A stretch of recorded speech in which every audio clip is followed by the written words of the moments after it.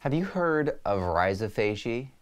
Rhizophagy is the process at which growing root tips on all plants that have so far been studied have the ability to take in microbes and to remove their cell walls with superoxide reactive oxygen and then to feed and, and even consume some of these fungi and bacteria and then have them circulate in the growing root hairs of that root from that root tip and repopulate and reestablish their cell walls and then eventually get released some of them not all of them into as they help the cell the the the, the root hairs grow they get released back out at the root tips.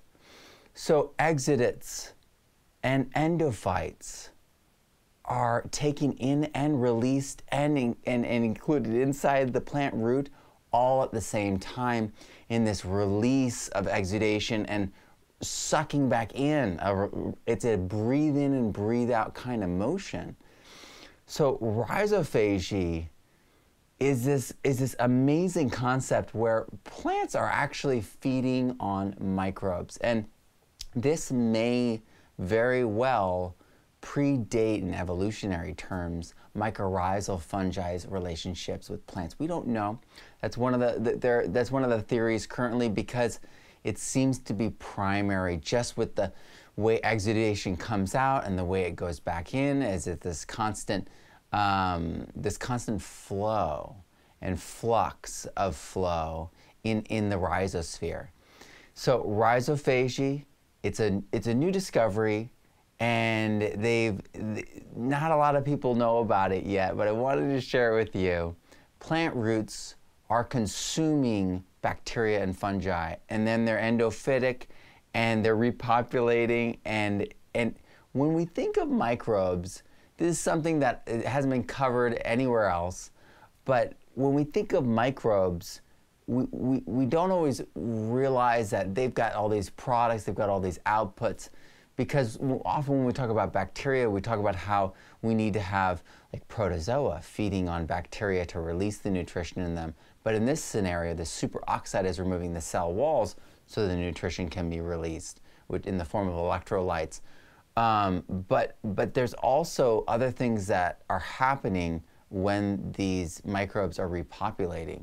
They're feeding and consuming, they're also releasing other things, conceivably, because endophytes, plant growth promoting uh, bacteria and fungi, um, they are actually like like fertilizers internally, and they actually have they they release um, stimulants and hormones, and they do all these things to cause the plant to do certain things.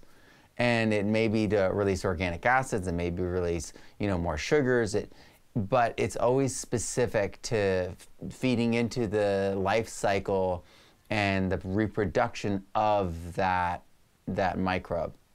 And so this relationship is a very one much of give and take and um, you know uh, of rapid growth and um, regrowth and, and consumption. I mean, there's death in there. You know, those those microbes do get consumed to a certain proportion.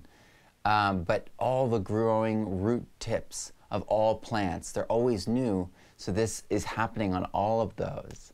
And um, these are microbes that we, we, we, can work with. These are microbes that we uh, can in, inoculate plants with.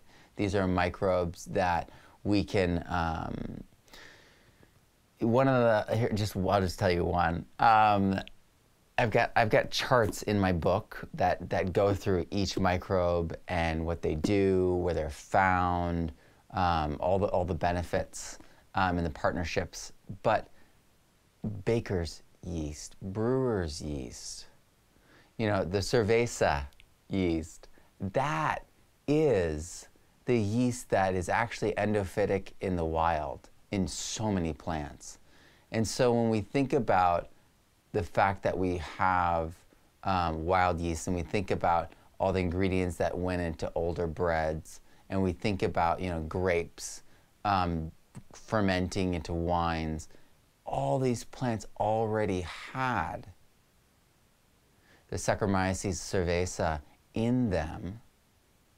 And, and it was the process of unlocking that that that allowed us to ramp it up and create more things and control it and then use it in all these different ways and use it at a, at a higher, you know, more efficient, um, trained microbiology, microbiological level. And so when we inoculate our plants with like something like EM, which has lots of different yeasts in it um, and other facultative microbes, um, we really give that rhizosphere this jolt. And the thing is, these microbes release so many different plant fertilizers, stimulants, and hormones that the plants perform totally different. And then they generate heat. So, so um, like, like at the rhizospheric level, you've got all these things happening, generating heat, uh, keeping the roots um, really nourished uh, with the microbial metabolites that they prefer. It's a fantastic symphony of things going on. And then when you have um, mycorrhizal relationships happening, um, that's a whole other layer on top of all this and they're they're extending, and in some cases they're completely encasing and encoding. So uh, those those relationships of of of rhizophagy are kind of taken over at that point too. Uh, so it's it's really fascinating to see that even when mycorrhizal fungi isn't there, there's a process at which it's all it's still working with fungi and and yeasts um, soil yeasts are incredibly important and ubiquitous. There's yeast on like everything. So um, keep that in mind. if you're interested in this sort of thing, I urge you to listen to my interview with Dr. James White, the co-author of the 2018 paper on rhizophagy that I read and studied as I was writing this book, Regenerative Soil. If you would like a copy of this book, you can pre-order it on my website, thepermaculturestudent.com, and it's a hardcover. It's amazing, and it's it really bridges the gap between the biology and the chemistry so that we can have a real understanding of how things work.